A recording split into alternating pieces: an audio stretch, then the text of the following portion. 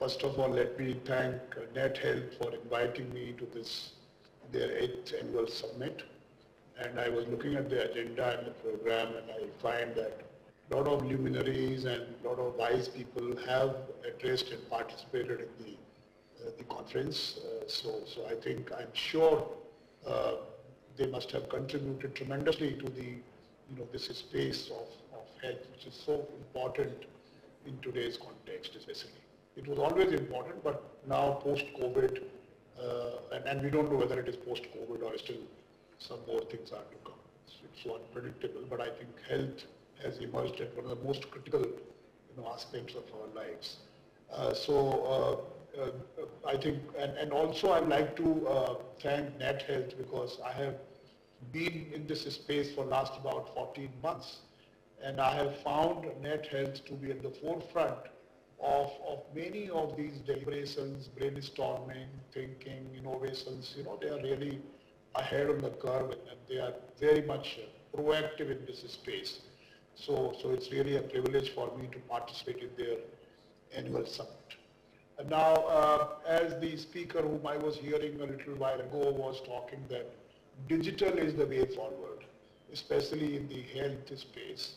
Uh, and of course in many other spaces, but but uh, in health uh, today, I think digital is, is the way forward. Uh, whether you talk of the consumers, whether you talk of doctors, whether you talk of hospitals or, or any other parts. And I think the only way to ensure that we can create a, a ubiquitous, quality, affordable uh, healthcare system, which is also you know, puts consumer or the patient at the center of the universe, I think digital again is the way forward. And the Honorable Prime Minister's announcement on 15th of August 2020 of the Ayushman Bharat uh, Digital Health Mission at that time, wherein it was started in about six union territories and it continued to be uh, sort of working in those territories uh, for about a year and a half. Uh, I think that was a very, very important announcement. And, and uh, thereafter, the developments which have taken place have given us the confidence that this mission or this particular architecture uh, can be taken forward and it has the potential to transform the delivery of health services and healthcare in this country. So, so what has been done is that we have, uh, you know, sort of done a proof of concept of many of the building blocks of this whole mission, uh, and which was, as you know, announced nationwide, launched, happened in September last year, and the the all these building blocks have been have been completed. Uh, so I would like to share some of those building blocks with you, and of course to say that this uh, project, I mean, it's one thing to create technology architecture, which of course is also very important. But I think the most important part is its adoption. And adoption is the critical aspect and it will determine whether the project or the mission becomes successful or not. And in this particular case, because the stakeholders are varied and many, starting from the clinics to the hospitals to the doctors to the laboratories to the pharmacy, pharmacies and, and of course at the center of all is the patient. Now this is a very large ecosystem of, of players and unless each one of these players adopt this uh, mission and the digital technologies, uh, this will not succeed. Uh, so, so I uh, would add you know, I will begin my intervention by requesting and urging all of you and all of us to really, uh, you know, promote this, this mission because that's where I think we will, we will end up uh, creating a beautiful ecosystem of patient care, services delivery, as also wonderful data analytics platforms because a huge amount of data will be generated, the anonymized part of which can be used for uh, health policy research and, and many other kind of interventions can happen due to that. So the broad building blocks of the Ayushman Bharat uh, digital mission, before that I must also say that we, the India as a country, has really in the last decade or so created, A, we have created a huge digital infrastructure, digital connectivity infrastructure. So today we have 1.2 billion mobile connections. We have got 800 million plus internet connections. We have got 600 million plus smartphones in this country growing at the rate of 25 million per quarter. So it's, it's really a beautiful, uh, you know, digital infrastructure. And of course, we have the cheapest data rates in the world. We have the entire country covered with 4G technologies and 5G is coming now. So we have this ground is ready of the physical digital connectivity infrastructure. And on top of that, we have created a number of digital public goods which are really working at a scale. So we have created Aadhaar and 1.3 billion people of this country have got Aadhaar. Aadhaar offers services like authentication. We have done 60 billion plus authentication. Uh, I mean, you can imagine on an average, every citizen has done 60 authentications in this period and in this period of seven, eight years. And we have done electronic KYCs, which have actually uh, made subscription into services extremely easy. So whether you want to have a mobile SIM or whether you want to get a ration or whether you want to open a bank account, all electronic KYC is what is required, which is instantaneous from anywhere, anytime. Similarly, we have created digital signatures. We have created a beautiful payment mechanism. I think this is a unique payment mechanism in the whole world where we clocked 4.5 billion transactions in one month last month. I mean, this is, this is unimaginable. It, it actually surpasses all the debit cards and credit cards put together. So, and, and it is free of cost. And it is instantaneous. You don't have to wait. You know, I transfer one rupee and that one rupee goes as one rupee to the other person. So this is this is a beautiful uh, you know system which we have created. So we have created a lot of digital public goods which are horizontal in nature in the sense that they can be plugged into any domain. So for example, Aadhaar authentication can be plugged into, you know, when a patient checks into the hospital, he or she can be verified whether he is eligible for Ayushman Bharat or not using the Aadhaar authentication, you know, in a seconds, uh, two or three seconds, that fast. So we have, and you know, imagine the latest, uh, uh, you know, public good which we made, COVID. Now, COVID is an example where, which, which actually is a record in itself. I, I, I don't think any system has scaled to, you know, about close to 1.80 billion in a matter of a year simply a year in one, you know, about 2 billion in a year, I don't think any system has, even, even for get, getting one, 1 billion, you know, systems have taken months, uh, years together to, to reach that scale. And this is a scalable, interoperable, inclusive, open standards, open API based open source system.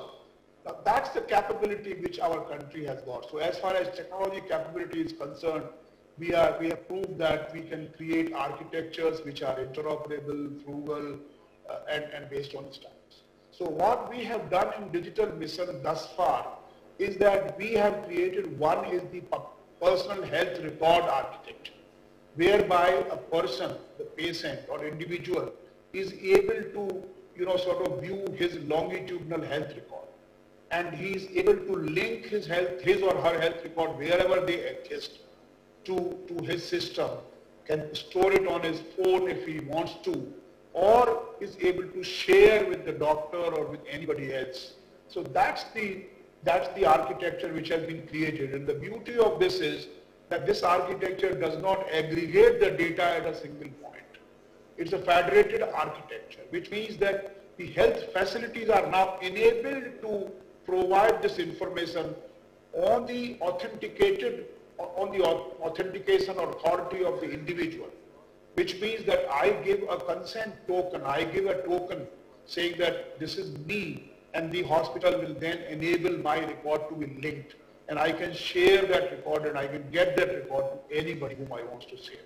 So this is the this is the architecture which is a federated data architecture, which is privacy preserving, which is consent driven, that kind of stuff, that kind of structure has been we are creating health facility registry, which means all the facilities, whether they are laboratories, hospitals, and hospitals of all types, whether Ayurvedic or, or uh, you know, allopathic, whatever system of medicine they are, there that registry will be there and it's authenticated registry.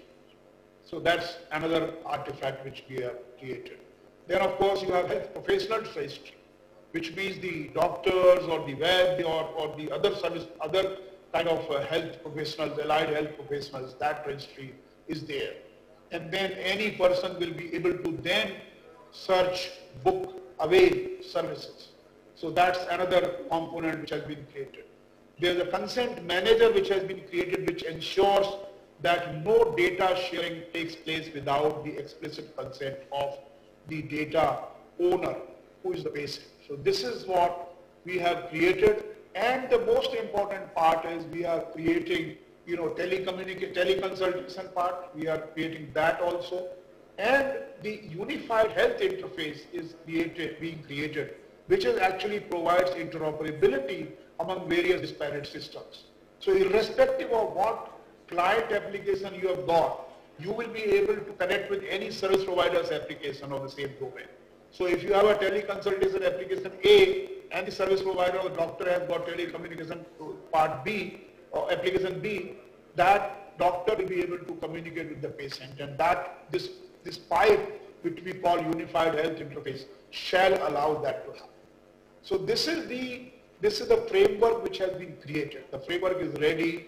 There are large number of partners who are working with us, the private sector. And, and please remember, this is not, this is just a framework being created by the government, by the National Health Authority. This basically enables innovations on the, on the sites, innovations in the system. So there are as many as 400 or maybe I, I, think I, I am a little outdated, it's now 700 you know, partners who are working with us creating all kinds of applications, whether it is PHR applications or teleconsultation applications and other applications. This is actually a great ecosystem which is emerging. There are software companies, there are startups who are basically creating these, these solutions. And the basic characteristics of these solutions is that they are all interoperable solutions. They, each solution will, each application will talk to the other application of the same, same domain or the same functionality. So this is the architecture which, which we are creating. Uh, private sector is participating. The health HMIS systems, I think the uh, gentleman who was speaking before me was talking about the data being, you know, sort of traveling from one facility to another in, in the sense of sharing by the, by the patient at his or her consent. Uh, that kind of, you know, thing is, is being created. So, so digitization of the entire health system or health ecosystem is going to lead to lot of efficiency, lot of cost, uh, you know, advantages, and I think it is going to be a win-win-win for everybody. And that's what we have to realize. Only thing is, it's, it's you know, sometimes habits die hard. So habits do take time to change.